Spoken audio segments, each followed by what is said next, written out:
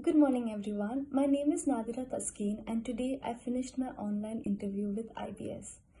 The IBS selection process was conducted online, keeping the pandemic in mind.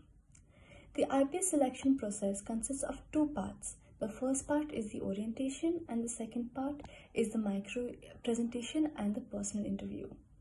Unlike other colleges, IBS gives the students the liberty to choose their own topics for micro presentation, which I think is amazing because apart from the presentation skills, it gives the students an opportunity to give the interviewers a preview into their own personal lives and experiences.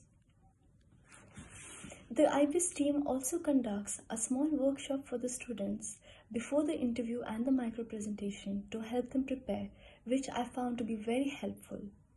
I hope I get into a prestigious college like IBS so I can benefit from everything it has to provide to help me grow as an individual and to prepare me for the real world. Thank you so much.